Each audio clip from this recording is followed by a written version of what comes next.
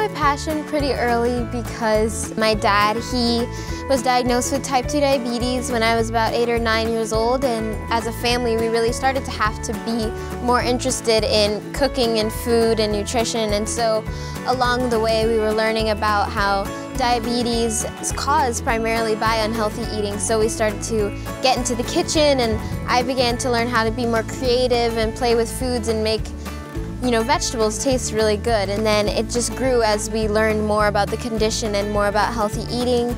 I started learning that kids were getting type 2 diabetes and heart disease. And so from there, I was like, maybe I need to, you know, speak up and talk to kids about this because a lot of kids have no idea that what they eat directly affects their health. And so then I just discovered that I really wanted to not only cook and show people how to take those healthy steps, but to also tell them about the dangers of the other side, but in a kid-friendly way.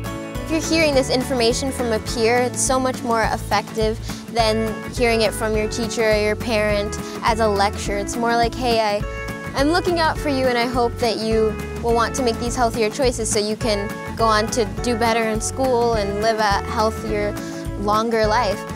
For my cooking programs and camps and classes through my organization, all the curriculum is developed by me and the way that I go about it is just making it approachable but still giving all of the same information but in a way that is easy for kids and youth to understand. It's easy to go with vegetables and say, hey, this is proven to be good for you, there's no side effects at all, and then to take that and put in a fun approach to it. Like you don't have to eat soggy broccoli or spinach. Like this can be a really fun and delicious dish or something that you can really be creative with. And then for the nutrition aspect, we want to make sure that kids can get the connection. Like you want to eat this because it does this for you, not you want to eat this because it has vitamin C.